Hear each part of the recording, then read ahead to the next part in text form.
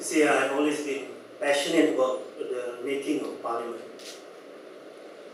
And the Workers' Party is striving for a parliament that will be an effective uh, representative of the people's aspirations and embraces the people's talents. See, the PAP leadership is always complaining about the Singaporeans having limited talent. But the main reason hindrance of talent among Singaporeans is because the environment does not enable our people to cultivate their potential fully.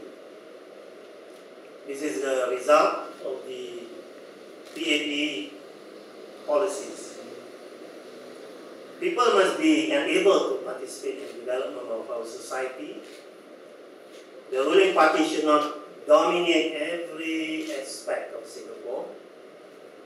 Organic leadership and participation of diverse groups should be encouraged. Only then can we have a robust society with talented people.